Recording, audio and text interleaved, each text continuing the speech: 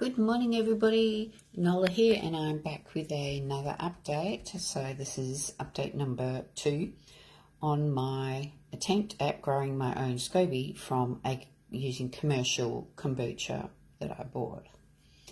So this is now Saturday and I made this last Sunday I think it was. So we're like six days along in the process.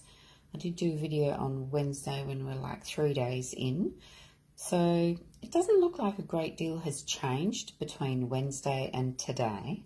Uh, we'll take off the top in a minute and we will have a look. The tea doesn't seem to have cleared any more to any great degree at all. It is about as cloudy slash translucent as it was on Wednesday.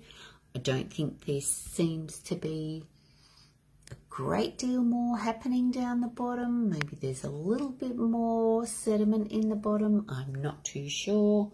Again, you can see that white stuff is growing on the top and actually up the sides of the jar a little bit, which again is what it looked like on Wednesday.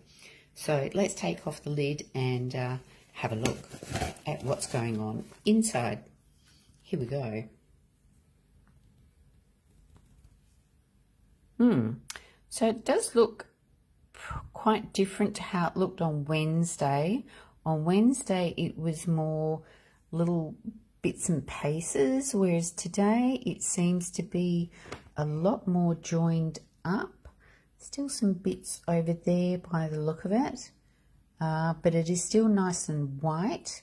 So there's nothing in there that's giving me cause for concern. If I was seeing green or black colours in what's growing, then I'd be concerned that it was growing unhealthy stuff rather than healthy stuff.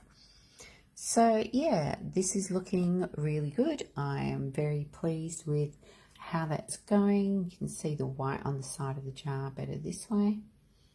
So I'm really pleased with how that's going. So I'll check in. I might leave it another week now before I do another progress, but that's looking really good.